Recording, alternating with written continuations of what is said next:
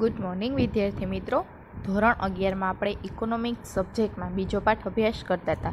જેમાં આપણે સંપત્તિના પ્રકારો વિશે લાસ્ટમાં સમય જતા કે સંપત્તિના કેટલા પ્રકાર છે. એના પછી જોઈએ કે ઉત્પાદનના સાધનો એટલે કે ઉત્પાદન પ્રક્રિયામાં મદદ કરે છે એવા કયા સાધનો છે. તો માણસ છે તમને ખબર જ છે કે એની જરૂરિયાત અમર્યાદિત છે. એની જરૂરિયાત સંતોષવા માટે વિવિધ વસ્તુનું ઉત્પાદન કરે છે, સેવાઓનું ઉત્પાદન કરે છે ખર્ચ કરે છે, ખર્ચ કરવા માટે આવક પણ વધારે મેળવે છે. એવી જ રીતે ઉત્પાદનના સાધનો છે, એ ક્યાં ક્યાં છે, કઈ રીતે આપણને ઉપયોગી છે, એ આપણે જોઈએ. એમાં ઉત્પાદનના સાધનો છે મુખ્યત્વે ચાર છે, જમીન, મૂડી, શ્રમ અને નિયોજક. આ ચારેય સાધનો છે એ ઉત્પાદનમાં મુખ્યત્વે મદદ કરતા હોય છે. તો રાષ્ટ્રના કુલ વાર્ષિક ઉત્પાદનનો આધાર છે એ આ ચાર સાધનો ઉપર જ રહેલો છે. એટલે કે આપણા રાષ્ટ્રીયનો વિકાસ થાય છે, આર્થિક વિકાસ થાય છે, આર્થિક વૃદ્ધિ થાય છે. આ બધો જ જે પરિબળ છે, આ બધો જ આધાર છે એ આ ચાર સાધનો ઉપર રહેલો છે. આ ચાર સાધન દ્વારા આપણે જાણી શકાય છે કે રાષ્ટ્રનો વિકાસ થયો છે, ઉત્પાદનમાં વિકાસ થયો છે કે નહીં. આ ચાર જે છે સાધનો, એના ઉપરથી આપણે જાણી શકાય છે. તો ઉત્પાદનના હવે આ ચાર સાધનો છે, એનો આપણે ડિટેલમાં અભ્યાસ કરીએ. એમાં પહેલું છે જમીન. જમીન એટલે કે ભૂમિ. સામાન્ય વ્યવહારમાં જમીન એટલે પૃથ્વીની ઉપરની જે સપાટી છે, જેના ઉપર માણસ વસવાટ કરતો હોય છે, તેને આપણે અર્થશાસ્ત્રની ભાષામાં જમીન કહીએ છીએ. હવે પ્રોફેસર માર્શલ છે એ શું કહે છે? તો એ મનુષ્યને ઉત્પાદનમાં મદદરૂપ થતા કુદરતી પરિબળો જમીન છે. એટલે કે કુદરત તરફથી મળેલી જે આપણને બક્ષિસ છે એને આપણે જમીન કહીએ છીએ. એટલે કે હવા, પાણી, સૂર્યપ્રકાશ, આબોહવા, એનો જે સમૂહ છે એને આપણે જમીન તરીકે ઓળખીએ છીએ. ઉત્પાદનમાં મદદરૂપ ખનિજ, ખાણ, પર્વત, નદી ગરમી તમામને જમીન ગણી શકાય. તો જમીન છે એના મહત્ત્વના લક્ષણો કયા છે? સૌપ્રથમ તો આપણે જોઈએ કે જમીન છે એ કુદરતી બક્ષિસ છે. એ માનવ બનાવી શકતો નથી. કુદરતી કુદરત નિર્મિત બનેલી છે એટલે કે કુદરતી બક્ષિસ છે. જમીનનો કુલ પુરવઠો સ્થિર છે એટલે કે ક્યાંક જમીન છે જેટલી ઉત્પન્ન થઈ ગઈ છે કુદરત તરફથી એ સ્થિર છે. એટલે કે એ વધઘટ થતી નથી.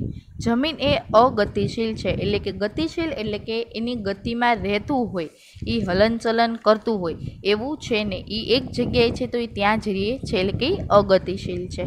તેની ફળદ્રુપતા જુદી જુદી હોય છે. બધી જ જમીનની ફળદ્રુપતા સરખી હોય એવું હોતું નથી. કોઈક જમીનમાં ફળદ્રુપતાનું પ્રમાણ વધારે હોય છે, કોઈક જમીન ફળદ્રુપતાનું પ્રમાણ ઓછું હોય છે. તો જમીનના પ્રકાર પણ અલગ અલગ હોય છે.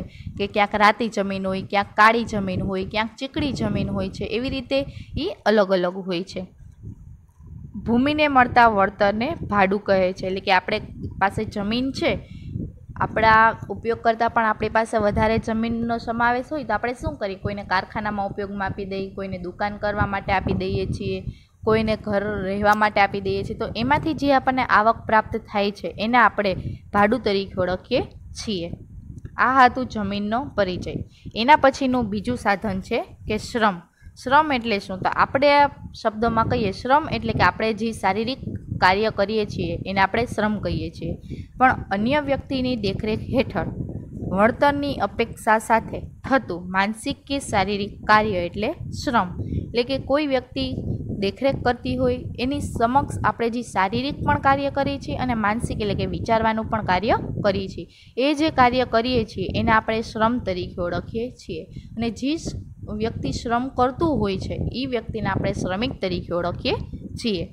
અર્થશાસ્ત્રીઓ માને છે કે ઉત્પાદનના બે જ મૂળભૂત સાધનો છે, કુદરતી પરિબળો એટલે જમીન અને માનવી એટલે શ્રમ. આ બે વસ્તુ હોય તો જ ઉત્પાદન થઈ શકે છે. તમારી પાસે નિયોજન હોય, એટલે કે ત્રીજું અને ચોથું નિયોજન પણ હોય અને શ્રમ પણ હોય, પણ મૂડી ના હોય તો કંઈ થઈ શકતું નથી. એવી રીતે મહત્ત્વના બે જ સાધનો છે એ માને છે કે કુદરતી પરિબળ, જમીન અને માનવીય શ્રમ. આ બે હોય તો તમે ઉત્પાદન છે એ વધારી શકો છો. આ બે વગર ઉત્પાદન વધારી શકાતું નથી.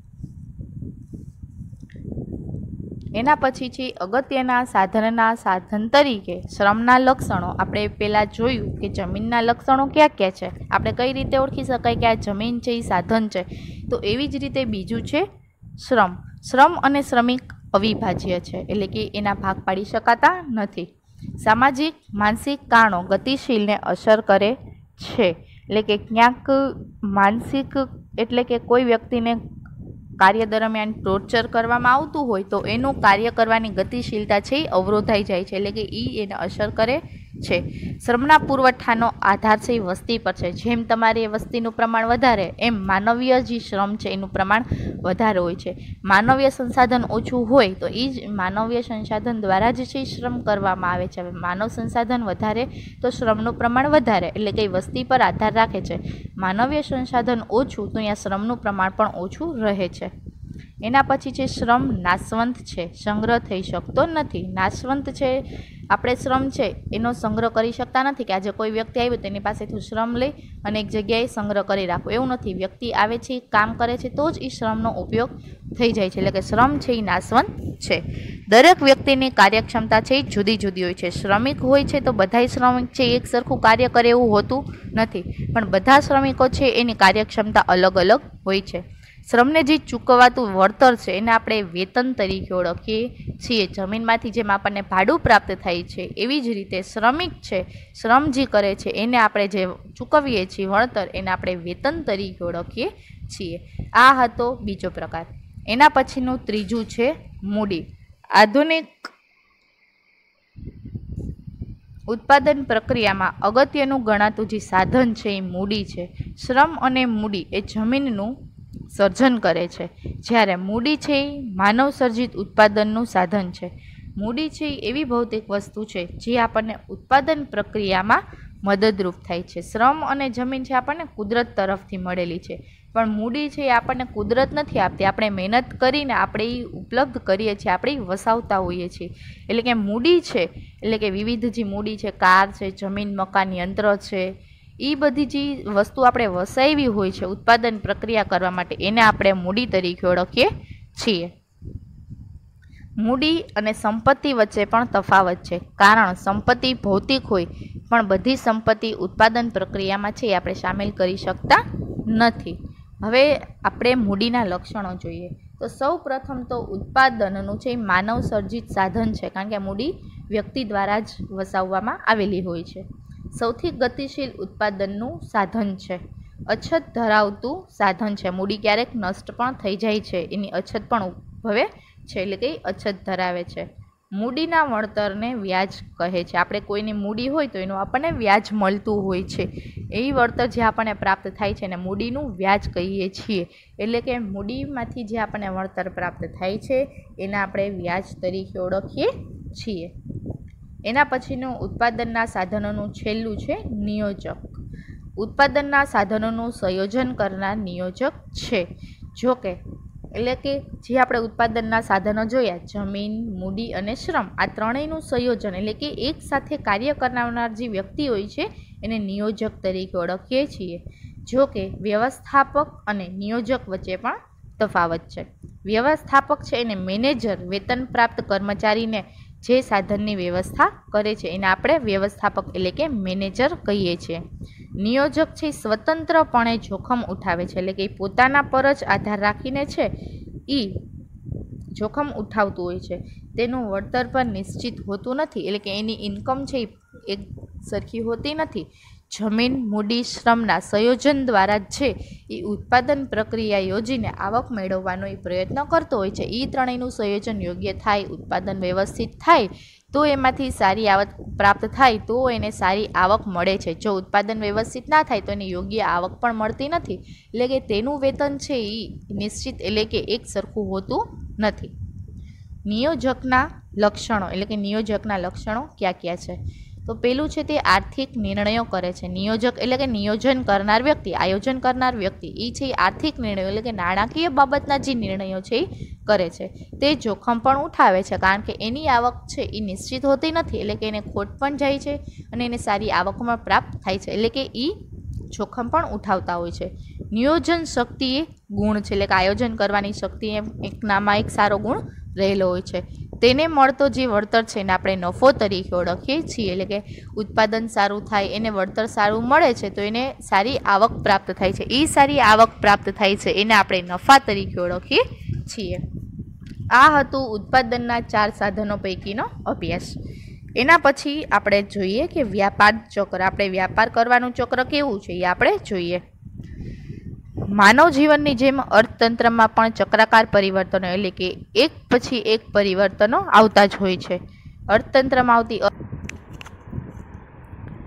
એના પછીનું બીજું છે મોસમી આર્થિક પરિવર્તનો. આપણે નામ ઉપરથી જ જાણીએ છીએ કે મોસમી પરિવર્તનો એટલે કે મોસમના આધારે જે પરિવર્તનો આવતા હોય છે તે. અર્થતંત્રમાં ઋતુ આધારિત છે, એ પર પરિવર્તન આવે છે, જેમ કે શિયાળો, ઉનાળો ચોમાસું વગેરેની ઋતુ દ્વારા બજારમાં પણ માંગ છે. અલગ અલગ સર્જાતી હોય છે. શિયાળો હોય તો ઊની વસ્ત્રોની માંગ વધે છે. ઉનાળો હોય તો સુતરાઉ વસ્ત્રોની માંગ વધે. ચોમાસું હોય તો રેનકોટની માંગ વધે છે. એવી રીતે છે એ મોસમ દરમિયાન અલગ અલગ માંગ છે એ સર્જાતી હોય છે. અને તે મુજબ છે ઉત્પાદન અને રોજગારીઓમાં પણ પરિવર્તન આવતા હોય છે. જેમ કે દર વર્ષે મોસમી પરિવર્તનોનું એક ચક્ર ચાલ્યા જ કરે છે કે શિયાળો હોય તો એના આગળના થોડાક સમય દર, ગાળા દરમિયાન શિયાળામાં જે વસ્તુનું ઉત્પાદન થતું હોય, જાણે કે અમુક ફ્રૂટ્સ છે, શાકભાજી છે, વસ્ત્રો છે, એની અલગ અલગ ઉત્પાદન થાય. પછી ઉનાળો હોય તો એને લગતું ઉત્પાદન થાય. એમ જેમ મોસમ બદલાય છે, એમ એની ઉત્પાદન કરવાની ક્ષમતા પણ એના રોજગારી મળવાની ક્ષમતામાં પણ પરિવર્તનો આવતા હોય છે. એના પછીનું ત્રીજું છે દીર્ઘકાલીન આર્થિક પરિવર્તનો. અર્થતંત્રમાં કોઈ ચોક્કસ દિશામાં લાંબા સમય સુધી પરિવર્તનની ક્રિયા ચાલ્યા કરે છે એટલે કે એ લાંબા ગાળાની હોય છે, જેને આપણે દીર્ઘકાલીન પરિવર્તન કહીએ છીએ. કોઈપણ ગતિશીલ અર્થતંત્રમાં લાંબા ગાળાના પરિવર્તન જ આવતા હોય છે, જે એક જ દિશામાં હોય છે. અહીં પરિવર્તનો ચક્રાકાર હોતા નથી. દીર્ઘકાલીન પરિવર્તનો થતા હોય છે. એ ચક્રાકાર પ્રવાહ હોતા નથી, પણ એ લાંબા ગાળાના હોય છે. એના પછીનું ચોથું છે ચક્રવત આર્થિક પરિવર્તનો. એક સમયગાળા દરમિયાન ઉર્ધ્વગામી અને અધોગામી આર્થિક વલણો સર્જાય. તે ચક્રીય આર્થિક પરિવર્તનો છે. ઉર્ધ્વગામી એટલે નીચેથી ઉપર તરફ જાય. અધોગામી એટલે કે એને જે પ્રગતિ સાધી હોય ત્યાંથી પાછા નીચે તરફ ધકેલાતા હોય છે. આવી રીતે તેજી અને મંદીની જે સ્થિતિ ઉપર અને નીચે જે પરિવર્તનો થાય છે, જેને આપણે અધોગામી અને ઉર્ધ્વગામી તરીકે ઓળખીએ છીએ. વ્યાપાર ચક્રો આવા ચક્રીય પરિવર્તનો હોય છે. એટલે કે એ ચક્રીય એટલે કે ગોળાકાર પ્રવાહી ચાલુ જ રહેતા હોય છે. જેને આપણે વ્યાપાર ચક્ર તરીકે ઓળખીએ છીએ, જેની વ્યાખ્યા પણ આપણે સમજવાની છે. એમાં નીચે આપણે હવે જોઈએ કે વ્યાપાર ચક્રની વ્યાખ્યા.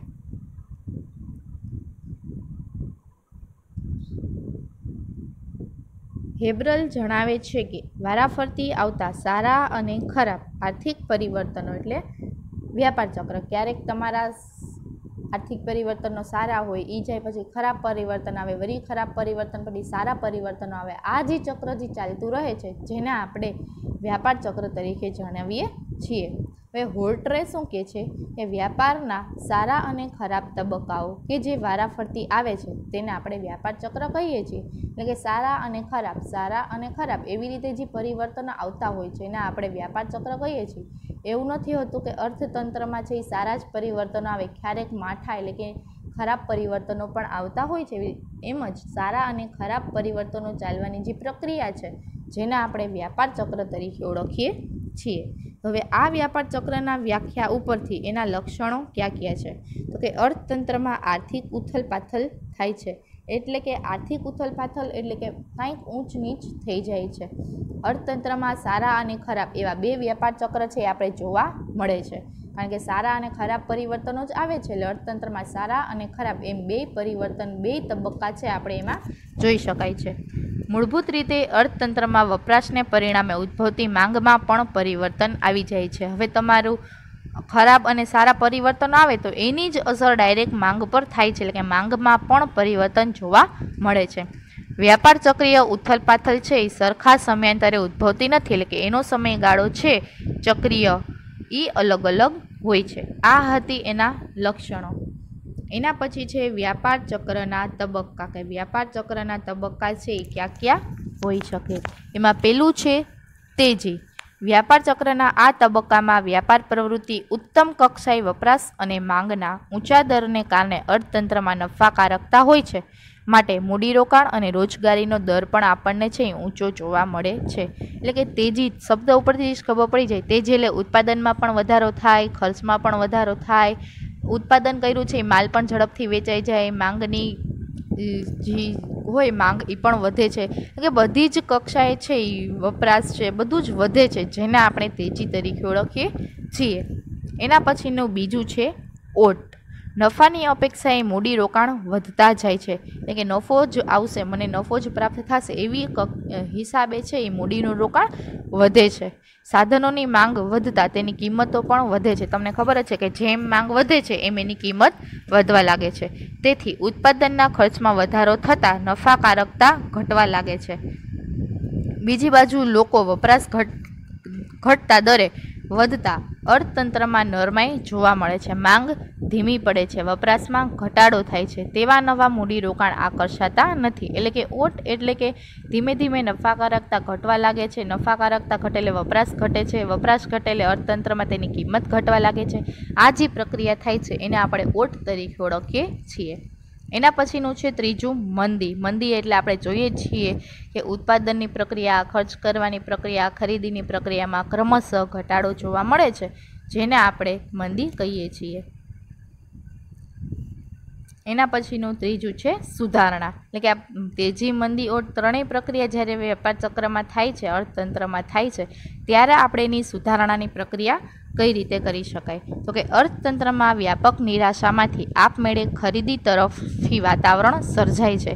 કે ધીમે ધીમે ધીમે છે ખરીદીનું પ્રમાણ વધવા લાગે છે. હવે માંગ જેમ વધે છે એમ નફાની આશા પણ વધે જ છે. કારણ કે વસ્તુ વેચાય છે, તો એનું નફાકારકતાનું પ્રમાણ વધે છે. બેકાર સાધનો જે છે, જ્યારે માંગ ઓછી થઈ ગઈ હોય છે, ત્યારે માંગ વધે છે, ત્યારે જે વપરાશમાં નથી આવતા સાધનો. એ પણ ધીમે ધીમે વપરાશમાં આવવા લાગે છે. આવકમાં વધારો, ખર્ચમાં વધારો લાવે છે. હવે ખરીદીનું પ્રમાણ વધે છે, માંગ વધે છે, એટલે આવક પણ વધવાની છે અને ખર્ચમાં પણ વધારો આવવાનો છે. ખર્ચ માંગને અસરકારક બનાવી નફાકારકતા સર્જે છે. હવે માંગ વધે, પછી ખર્ચ વધે એમ કંપની છે ઉત્પાદન કરનાર વ્યક્તિ છે, એનું નફાકારકતાનું પ્રમાણ પણ વધારે છે. આમ, અર્થતંત્ર છે એ ધીમે ધીમે સુધારણા તરફ ગતિ કરે છે. આમ, અર્થતંત્રમાં આવતા ચક્રાકાર પ્રવાહો, વેપાર ચક્રો છે, એટલે કે ધીમે ધીમે જે ચક્રાકાર ક્યારેક તેજી હોય, ક્યારેક ઓટની સ્થિતિ સર્જાય, ક્યારેક મંદીની સ્થિતિ સર્જાય છે, આ જે ચક્રાકાર પ્રવાહમાં જે પ્રવાહ ચાલુ રહે છે, જેને આપણે અર્થતંત્રમાં વ્યાપાર ચક્ર કહીએ છીએ. આ હતા વ્યાપાર ચક્રના ચાર તબક્કાઓ. તો અહીંયા છે એ આપણો પાઠ કમ્પ્લીટ થાય છે.